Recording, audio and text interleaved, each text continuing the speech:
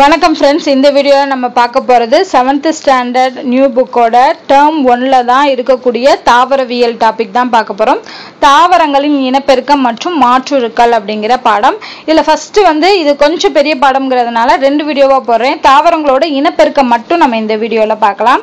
So இனப்பெருக்கம் எப்படி வந்து தாவரங்கள் வந்து இளம் உயிரிகளை உருவாக்குது அப்படிங்கிறது தான் வந்து இனப்பெருக்கம் அப்படிங்கிறது. ஓகேவா ஸோ ஒவ்வொரு தாவரமும் விலங்குகளும் சரி ஒரு இளம் உயிரியை உருக்க உருவாக்கக்கூடிய அந்த நிகழ்வுக்கு பேர் தான் இனப்பெருக்கம்.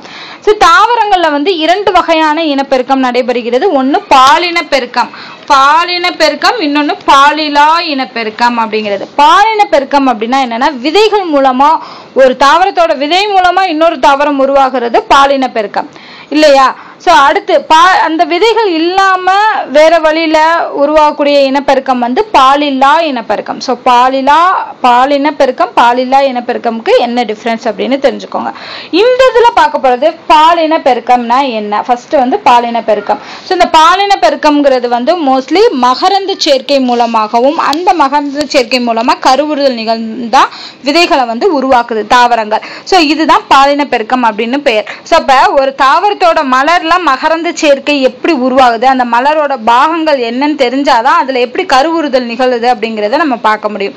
ஸோ அதனால ஃபர்ஸ்ட் நம்ம மலரோட பாகங்கள் என்னென்ன அப்படிங்கிறத பார்க்க போறோம். அவங்க முன்னாடி வந்து சில எக்ஸாம்பிள் கொடுத்துருப்பாங்க. அதெல்லாம் நமக்கு தேவையில்லை. இல்ல மலரோட பாகங்கள்ல மெயின் வந்து அள்ளிவட்டம் புள்ளிவட்டம் அப்படிங்கிறதான் ஸோ இந்த மலர் எடுத்துக்கோங்க. இது செம்பருத்தி. ஸோ இந்த செம்பருத்தி மாதிரி இருக்க பூவில் வந்து அள்ளிவட்டம் புள்ளிவட்டம் என ஞாபகம் வச்சுக்கோங்க. அள்ளினா கலர் கலராக இருக்கக்கூடிய பகுதி. தாவ அந்த மலரோட கலரான பகுதி இருக்குல்ல இப்போ ரோஜான்னு எடுத்துக்கிட்டோம்னா அந்த சிவப்பு கலர் இதழ் உள்ள பகுதி தான் அள்ளிவட்டம் ஸோ இங்கே கொடுத்துருப்பாங்க. இங்கே வந்து மாற்றி கொடுத்துருக்காங்க. புள்ளி இதழ் அள்ளி இதழ்னு அது தப்பு. இந்த மாதிரி கலராக இருக்கக்கூடிய அந்த இதழ் தான் வந்து அள்ளி இதழ். ஸோ அந்த பகுதி ஃபுல்லாகவே அள்ளிவட்டம் என அழைக்கப்படுது. புள்ளி இதழ் அப்படிங்கிறது அந்த பூக்கு கீழே அந்த காம்புக்கு கீழே இருக்கும் பார்த்தீங்களா அந்த காம்பு அட்டாச் ஆகி இங்கே வந்து இதழ் மாதிரி இருக்கும். ரோஜா பூவில் நல்லா தெரியும் செம்பருத்தி பூலெல்லாம் நல்லா தெரியும். அந்த க்ரீன் கலர் பகுதி தான் வந்து புள்ளி இதழ் அந்த பகுதி எல்லாமே புள்ளி வட்டம் என அழைக்கப்படுகிறது. ஸோ மெயின் வந்து அதுதான். அள்ளி வட்டம்னா என்ன புள்ளி வட்டம்னா என்ன? ஓகேவா ஸோ இது புள்ளிவட்டம்ங்கிறது அந்த பசுமை நிற போன்ற இலை போன்ற பசுமை நிறையான பகுதி. அதுதான் என்ன பண்ணும்? அந்த மொட்டை மூடி பாதுகாக்கக்கூடிய பகுதி. ஓகேவா ஸோ அதில் தான் புள்ளி இதழ்கள் இருக்கும். அந்த புள்ளி இதழ்கள் இருக்கக்கூடிய அந்த அமைப்புக்கு பேர் புள்ளிவட்டம். அடுத்து வந்து அள்ளிவட்டம் அள்ளிவட்டம்னா என்ன? மலரோட மிகப்பெரிய பாகமே அந்த அள்ளிகள் தான் ஏன்னா அதுதான் இலைகள் பெருசாக இருக்கும். கலர் கலராக இருக்கும். ஓகேவா அது மட்டும் பிரகாசமான வண்ணம். ஏன் அந்த மாதிரி கலராக இருக்குன்னா பூச்சிகளை அட்ராக்ட் பண்ணுறதுக்காக கவர்கிறதுக்காக. அது மட்டும் இல்லாமல் நறுமணத்தோடு இருக்கும். ஸோ இதுதான் வந்து அள்ளிவட்டம் அப்படின்னு சொல்றோம். அடுத்து என்ன பார்க்க போறோம் அப்படின்னா அள்ளி வட்டத்தை அடுத்து செம்பருத்தி மலரோட நீண்ட குழல் போன்ற பகுதி செம்பருத்தி பூவில் பார்த்தீங்கன்னா இந்த மாதிரி குழல் போன்ற பகுதி இருக்கும். ஓகேவா? ஸோ அதுதான் மகரந்த தாள்கள் அப்படின்னு சொல்கிறாங்க ஸோ அந்த குழல் நீண்ட குழல்ல தான் வந்து என்ன இருக்குன்னா தூள் போன்ற பகுதி இருக்கும். அதான் மகரந்த தாள்கள் அப்படின்னு அழைக்கப்படுது. இது வந்து செம்பருத்தியில் நிறைய மகரந்த தாள் இருக்கும். ஆனால் சில பூக்களில் ஊமத்த பூவில் பார்த்தீங்கன்னா வெறே அஞ்சு அஞ்சு மகரந்த தாள்கள் தான் இருக்கும். ஓகேவா? ஸோ இந்த மகரந்த தாள் வட்டத்துக்கு பேர் தான் ஆண் இனப்பெருக்க வட்டம் அப்படின்னு சொல்கிறாங்க இப்போ மலரோட ஆண் இனப்பெருக்க வட்டம்ங்கிறது எதுன்னு பார்த்தீங்கன்னா இந்த மகரந்த தாள்கள். அதே இது இந்த மகரந்த தாள்களில் வந்து என்னென்ன இருக்கும்? இந்த இனப்பெருக்க வட்டத்தில் என்னென்ன இருக்குன்னா மகரந்த கம்பி இருக்கும் மகரந்த பை அப்படிங்கிறது இருக்கும். ஸோ அதில் தான் என்ன இருக்கு? மகரந்த தூள் அப்படிங்கிற ஒரு ஒட்டக்கூடிய ஒரு பொருள் இருக்கும். நீங்கள் பூவெல்லாம் எடுத்து பார்த்தீங்கன்னா தெரியும். ஸோ இதில் வந்து விவரமாக சொல்லியிருப்பாங்க. ஸோ இதுதான் மகரந்த தாள். இது வந்து மகரந்த கம்பி. ஓகேவா ஸோ இது வந்து அள்ளி வட்டம் புள்ளி வட்டம் எல்லாத்தையும் அவங்க எக்ஸ்பிளைன் பண்ணியிருப்பாங்க. ஸோ அள்ளி இதழ்ங்கிறது இந்த ரெட் நல்லா பிரைட்டான கலர்ஸ் உள்ள பகுதி. புள்ளி இதழ்ங்கிறது அதுக்கு கீழே இலை பசுமையான நிறம் கொண்ட பகுதி. அதுக்கு கீழே இருக்கிறது என்னன்னு பார்த்தீங்கன்னா சூலகத்தாள் அப்படின்னு சொல்கிறாங்க ஓகேவா சூலகத்தாள் அப்படிங்கிறது இது வந்து பெண் இனப்பெருக்க உறுப்பு.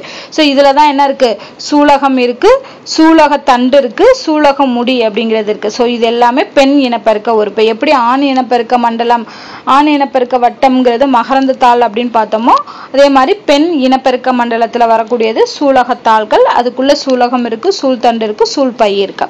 ஓகேவா இங்க பார்த்தோம் அப்படின்னா மகரந்த கம்பி இருக்கும். ஓகேவா மகரந்த கம்பி மகரந்த பை. மேல மகரந்த பை இருக்கும் கீழே மகரந்த கம்பி இருக்கும். அதுல அந்த எல்லோ டாட் கொடுத்துருக்காங்களா? அதுதான் மகரந்த தூள். அந்த மகரந்த தூள் தான் என்ன பண்ணும் அப்படின்னா காத்துலயோ இல்லை யாராவது இடிச்சிட்டு போனாங்களோ அது வந்து இந்த சூலக பை இருக்கு இல்லையா? அது வழியா உள்ள போய் அங்கே வந்து இனப்பெருக்கம் நடைபெறும் கருவுறுதல் நடைபெறும். ஸோ அதான் இங்கே எக்ஸ்பிளைன் பண்ணியிருக்காங்க எப்படி வந்து கருவுறுதல் நி- நிகழுது அப்படின்னு. ஸோ அதுக்கப்புறமா எப்படி தாவரம் வளர்ந்து விதைகளை கொடுக்குது அப்படிங்கிறத சொல்லியிருப்பாங்க. ஸோ இந்த டயக்ராம் பார்த்தாலே ஓரளவுக்கு மோஸ்ட்லி உங்களுக்கு தெரிஞ்சிடும் இப்போ இது வந்து செம்பருத்தி பூவில் வந்து எப்படி இருக்கும்? அல்லி இதழ் எப்படி இருக்கும்? புள்ளி இதழ் எப்படி இருக்கும்னு சொல்லியிருப்பாங்க. அதே மாதிரி ஊமத்தன் செடியில் வந்து ஒயிட் கலராக இருக்கு இல்லையா? ஸோ அதுதான் வந்து அள்ளி இதழ் அந்த கிரீன் கலராக இருக்கிறது புள்ளி இதழ். செம்பருத்தி பூ நமக்கு தெரியும். செம்பருத்தி பூல எப்படி இருக்கும் அப்படின்னு சொல்லியிருப்பாங்க. ஸோ அதுதான் ஜென்ரலாக தான் சொல்லியிருப்பாங்க. அடுத்து இங்கே வர்றோம். புள்ளி அள்ளி வட்டம். இதாக இருக்கு இல்லையா? இது வந்து அள்ளி இதழ் இது புள்ளி இதழ். ஸோ இதில் மகரந்த தாள் வட்டத்தை அடுத்து மலரோட பெண் இனப்பெருக்க உறுப்பு தான் சூலக வட்டம். அதில் என்னென்ன இருக்கும் அப்படின்னு பார்த்தீங்கன்னா கீழே வந்து இந்த முன்னாடி பார்த்தோம் இல்லையா? அந்த படத்தில் தெரியும். இதாக இருக்கு இல்லையா? இதுதான். இது சூலகம் சூலகத்தண்டு சுலக முடி. இது மூணு பாட்டும் தான் இந்த பெண் இனப்பெருக்க மண்டத்தில் வரும். இதில் விதைகள் உருவாகக்கூடிய பகுதி எதுன்னு பார்த்தீங்கன்னா சூழ்பை சூழ்பையிலிருந்து தான் விதைகள் உருவாகுது. ஸோ கேட்குறாங்க இந்த கொஷின் நிறைய எக்ஸாம்ல கேட்டிருக்காங்க. விதை எதுலேருந்து உருவாகும் அப்படின்னா சூழ்பையிலிருந்து உருவாகும் அப்படிங்கிறது. ஸோ சூழ்பைக்கு மேலே காணப்படும் மெல்லிய குழல் போன்ற பகுதிக்கு தான் சூலகத்தண்டு இந்த மாதிரி பை போன்ற அமைப்பு இருந்துச்சுன்னா இதுதான் சூழ்பை இதுலருந்து நீண்டு வர்றது சூலகத்தண்டு அதுக்கு மேலே இப்படி ஒரு மூ மூடி போன்ற அமைப்பு இருக்கும். அது வந்து சூலக மூடி அப்படிங்கிறது இருக்கும். இந்த சூலக மூடியில தான் அந்த மகரந்த தாள்கள் வந்து அது வழியா தான் உள்ளே போகும். ஸோ ஓகேவா ஸோ அதான் எக்ஸ்பிளைன் பண்ணியிருப்பாங்க இந்த இருக்கு இல்லையா? இதுதான். சூளு இது சூலகம் சூழ்தண்டு சூழ்மூடி இது வந்து சூழ்பை அப்படின்னு சொல்லுவாங்க. இந்த பையில இருந்து தான் விதைகள் உருவாகுது.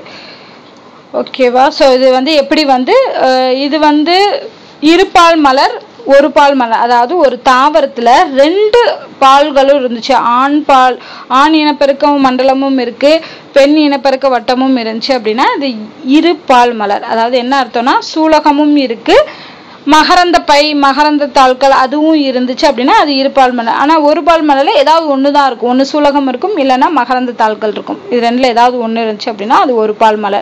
ஸோ அதான் சொல்லியிருப்பாங்க. அடுத்து மலரோட வகைகள். மலரோட வகைகள்ங்கிறது வந்து பார்த்தோன்னா ஃபஸ்ட்டு ஒரு மலரில் புள்ளி அள்ளி மகரந்தத்தால் சூலகம் அப்படின்னு சொல்லி நாலு வட்டமும் காணப்பட்டால் அது முழுமையான மலர் அப்படின்னு அழைக்கப்படுது. அந்த முழுமையான மலர் வந்து என்னவாக தான் இருக்கும்? கண்டிப்பாக இருபால் மலராக தான் இருக்கும். ஏன்னா மகரந்தத்தாலும் இருக்குது சூலகமும் இருக்குது அப்படிங்கிறதுனால அது இருப்பால் மலராக தான் இருக்கும். சிலதில் வந்து இந்த நாலு வட்டத்தில் ஏதாவது ஒரு சில வட்டங்கள் இல்லாமல் இருக்கும். அதாவது ஒன்று மகரந்தத்தாள் இல்லாமல் இருக்கும் ஒரு இதில் ஒரு இதில் சூலகமே இல்லாமல் இருக்கும். அது வந்து முழுமையற்ற மலர் அப்படின்னு அழைக்கப்படுது. அது கண்டிப்பாக மோஸ்ட்லி ஒரு பால் மலராக தான் இருக்கும். ஒன்றும் ஆண் மலராக இல்லாட்டி பெண் மலராக தான் இருக்கும் அப்படிங்கிறத இங்கே சொல்லியிருப்பாங்க.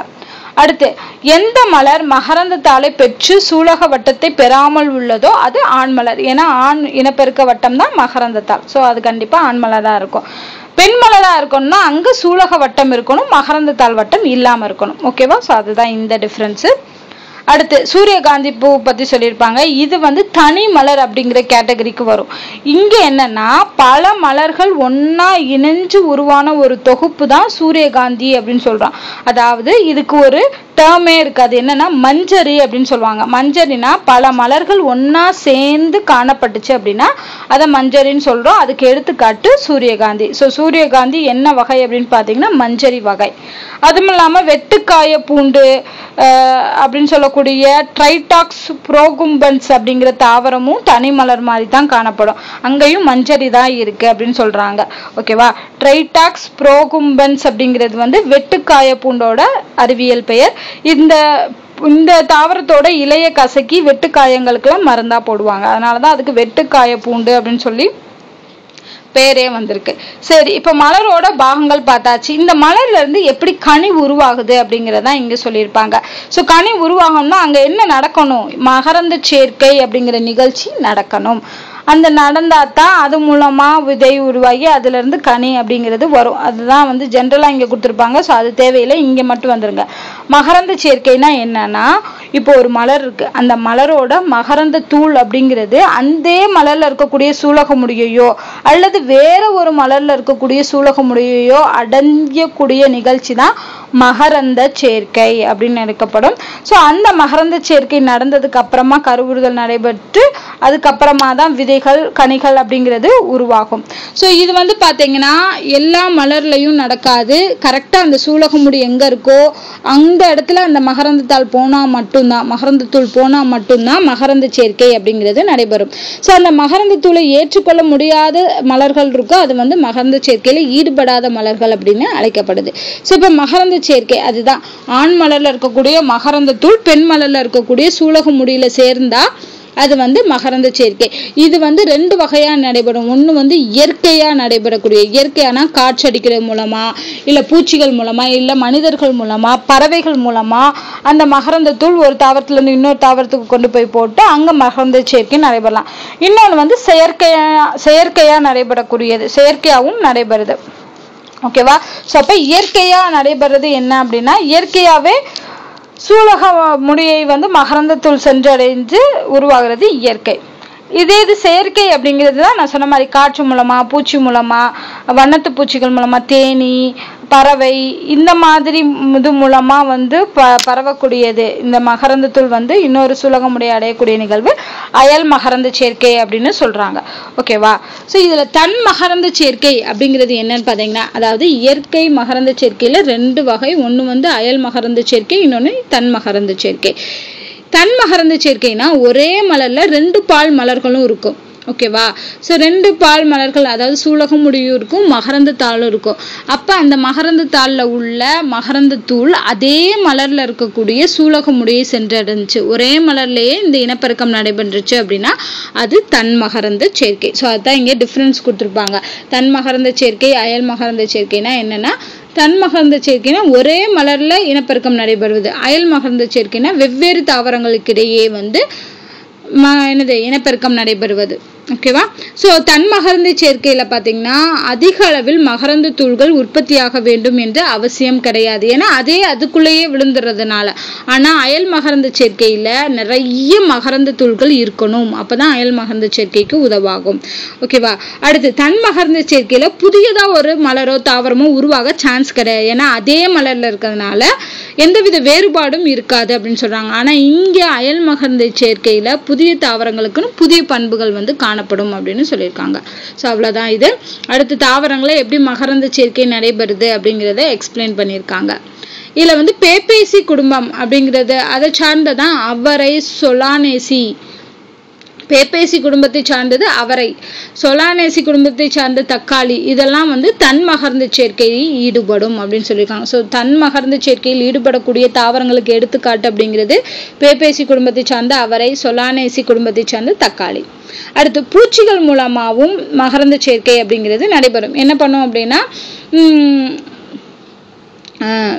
தக்காளியில் வந்து தன்மகர்ந்து சேர்க்கை நடைபெறதுக்கு முக்கிய காரணம் என்னன்னு பார்த்தீங்கன்னா பூச்சிகள் தான். அது உட்காரும் போது உட்காரும் போது என்ன ஆகும் அப்படின்னா அந்த மகரந்த தூள் வந்து சூலகமுடைய சென்றடையும். ஸோ அதனால் மோஸ்ட்லி வந்து தக்காளியில் தன்மகர்ந்து சேர்க்கை நடைபெறதுக்கு காரணமாக இருக்கக்கூடியது என்ன அப்படின்னு கேட்டாங்கன்னா பூச்சிகள் அப்படின்னு ஞாபகம் வச்சுக்கோங்க. ஸோ இந்த மாதிரி இருக்கக்கூடிய உயிரினங்களுக்கு பேர் தான் செயற்கையாளர்கள் மகரந்த தூளையும் சூலகமுடையும் சேர்க்கறதுக்கு உதவி செய்கிறாங்களே அதனால சேர்க்கையாளர்கள். ஸோ தன் மகரந்த சேர்க்கைக்கு உதவும் அனைத்து காரணிகளும் வந்து சேர்க்கையாளர்கள் அப்படின்னு அழைக்கப்படுகிறது. அயல் மகரந்த சேர்க்கை எங்கெங்கெல்லாம் நடைபெறுதுன்னு பார்த்தீங்கன்னா ஆப்பிள் பிளம்ஸு ஸ்ட்ராபெரி பூசணி வகைகளில் பூச்சிகள் மூலமாக அயல் மகரந்து சேர்க்கை நடைபெறுகிறது. ஸோ அதை ஞாபகம் வச்சுக்கோங்க. அகல் அயல் மகரந்து சேர்க்கை எந்தெந்த தாவரங்களில் நடைபெறுது அப்படின்னு கேட்டாங்கன்னா இதை சொல்லிடலாம். இப்போ கருவுறுதலுக்கு வர்றோம். மகரந்த சேர்க்கை நடைபெறுச்சு அது எப்படி வந்து கனியா விதை முளைக்குது அப்படிங்கிறத தான் பார்க்க போகிறோம் ஸோ சூலக முடியில் உருவா உருவாகும் சில பொருட்களால் மகரந்த தூள் முளைத்து மகரந்த குழலை உருவாக்கும். இந்த மகரந்த குழல் ஆன் கேமிட்டுகளை எடுத்து செல்கிறது. இது சூலகத்தண்டு வழியே சூர்பையை அடைந்து அங்கிருக்கும் பெண் கேமிட்டோடு இணைந்து இந்த ஆண் கேமிட்டும் பெண் கேமிட்டும் இணையக்கூடிய நிகழ்ச்சிக்கு தான் கருவுறுதல் என்று பெயர்.